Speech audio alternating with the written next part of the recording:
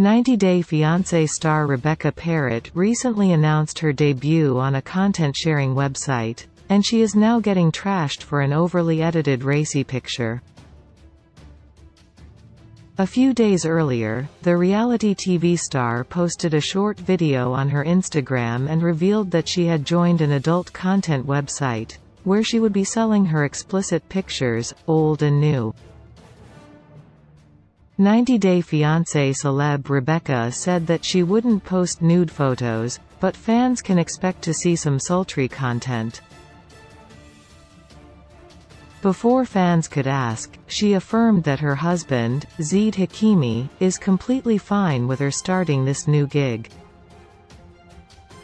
Rebecca also promised to share some behind-the-scenes details about some of her iconic scenes on the show.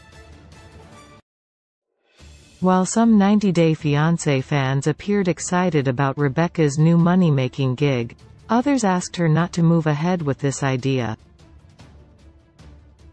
She received a lot of flack from fans who don't think that mommy of three Rebecca should post her racy pictures online.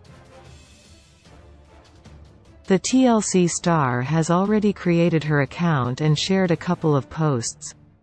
Now an explicit picture of the 90 Day Fiancé star is floating around the internet. Rebecca is wearing a green tank top in the image, which is showing most of her cleavage. The tattoos on her arms and chest are clearly visible. While Rebecca's neck and arms have natural skin texture and look slightly saggy, her face appears overly airbrushed. There is a drastic difference between her face and the rest of her body, which is looking quite odd. Clearly, Rebecca has heavily filtered her face. A fan page on Instagram called Little Luke shared her edited picture with the caption, When you're trying to sell your 20-year-old filtered pics. Just like Rebecca, Elizabeth Potthast Castravet was previously dragged for sharing a poorly edited explicit picture. Many 90 Day Fiancé fans are stunned to see Rebecca's new picture in revealing clothing. One fan said, OMG.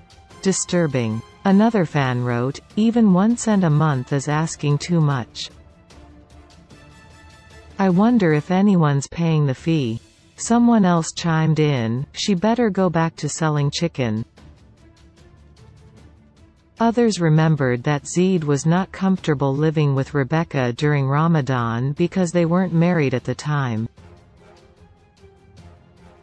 So fans questioned how he is now fine with his wife selling her racy pictures online. Nevertheless, it is great to see that Rebecca is now feeling wonderful in her new body and doesn't mind flaunting it. Six months ago, she had Sono Bello Trisculpt on her lower belly, which helped her get rid of excess fat. After feeling insecure about her body for years, Rebecca is now enjoying her newly transformed body.